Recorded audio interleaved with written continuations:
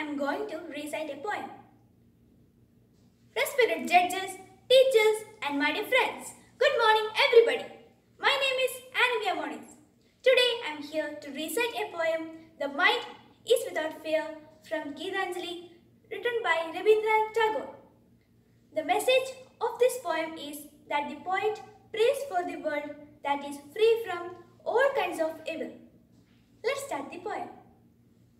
Where the mind without fear and the head is held high, where knowledge is free, where the world has not been broken up into fragments by narrow domestic walls, where words come out from depth of truth, where the tireless striving stretches its arms towards perfection, where the clear stream of reason has not lost its way into the dreary desert sand of dead habit, where the mind is led forward by thee into ever-widening thought and action.